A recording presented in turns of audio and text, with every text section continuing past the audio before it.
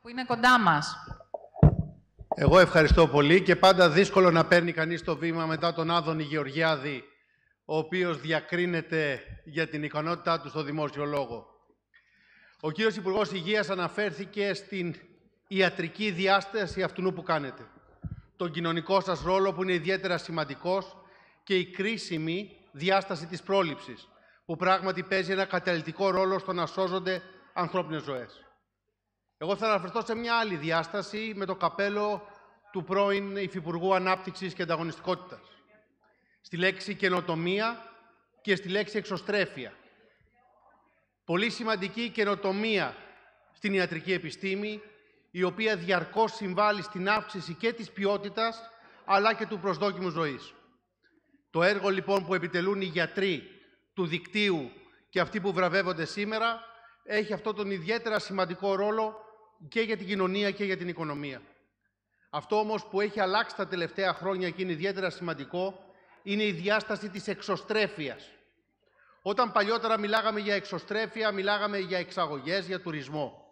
Ξεχνάμε όμως ένα πάρα πολύ σημαντικό, κρίσιμο, συγκριτικό πλεονέκτημα που έχει η Ελλάδα. Το έμψυχο μορφωμένο ανθρώπινο δυναμικό.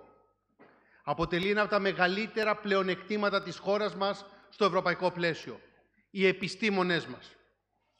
Και είναι ιδιαίτερα κρίσιμο αυτή την επιστημοσύνη να την αξιοποιήσουμε όχι μόνο στο εσωτερικό, αλλά και στην εξωστρέφεια της οικονομίας.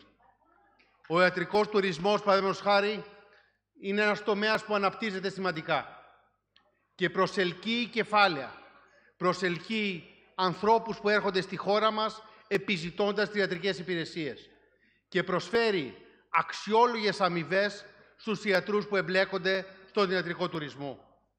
Αλλά πλέον με τη σύγχρονη τεχνολογία η καινοτομία δεν είναι μόνο η φυσική παρουσία.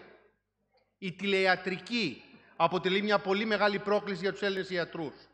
Η δυνατότητά τους πλέον να ανταποκριθούν σε μια ευρωπαϊκή αγορά, σε μια διεθνή αγορά.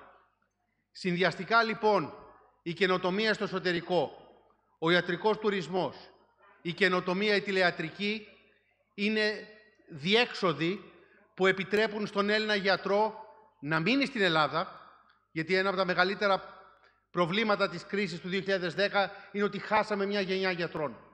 Είναι σημαντικό λοιπόν οι πρωτοβουλίες σαν τη σημερινή, οι Έλληνες γιατροί να μπορούν να συμβάλλουν εδώ στη χώρα μας, να δημιουργούν ποιοτικές θέσεις εργασίας και να στηρίζουν ελληνική οικονομία. Και σε αυτή την προσπάθεια και εμείς σας στηρίζουμε. Να είστε καλά. Ευχαριστώ πολύ.